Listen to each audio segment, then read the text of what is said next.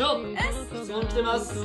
理由つけてすぐに仕事を休む子の対処法を教えてください。あーこれ意外にさ重たい質問なんですよ。自分がこう雇い入れた子って言ったら自分の子供やんか。だからなんでその子が仕事に来ることができないのかって過去に問題があることが多くて。でもそういう話をちゃんと聞いてあげるっていうのも大事なんだけどこれって職場の人間がすることではなくてカウンセラー行ってくださいっていう意見になっちゃうのね。でまず会社の立場としては1ヶ月2ヶ月3ヶ月休まずに勤務することができない人って雇用し続けるの難しいじゃん。そういうことを相手に伝えていくしかないと思う。でそうするとその子は多分最終リタイアしてしまう可能性もあるんだけど辞めてもらうことになったとしてもそれで一旦自由になって自分の根本問題と向き合ってもらう時間を取ってもらう方がいいかもしれない。これ採用の時にね見抜かないといけないところかもしれないですね。